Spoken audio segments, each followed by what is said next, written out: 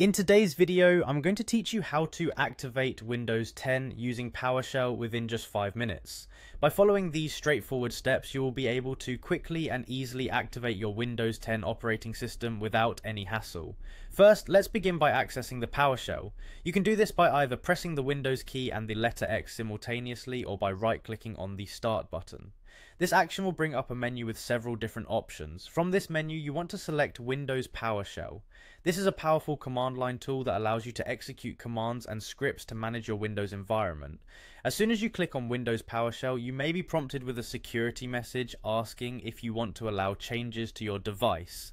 Don't worry, this is completely normal. Simply click yes to continue. It's important to allow this change because PowerShell needs the right permissions to make modifications to your system settings, such as activating Windows. Now with the PowerShell window open and ready, you'll need to type a specific command to install your Windows 10 product key. Here's what you type slmgr.vbs IPK followed by your unique product key. The product key is a 25 character code provided by Microsoft or the retailer where you purchased Windows.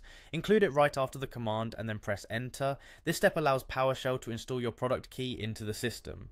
After successfully entering your product key, the next move is to force the activation online. For this you'll run another command by typing slmgr .vbs ato into the PowerShell window. This command is a trigger for the system to connect to Microsoft's activation servers. Once typed in, press enter.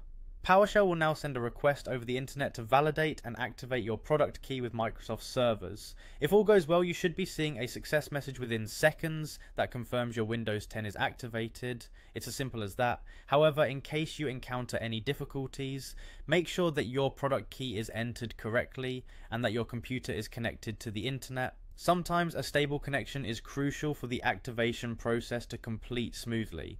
And there you have it. Your Windows 10 should now be properly activated using PowerShell. This method not only saves you time but also gives you a bit more control over the activation process.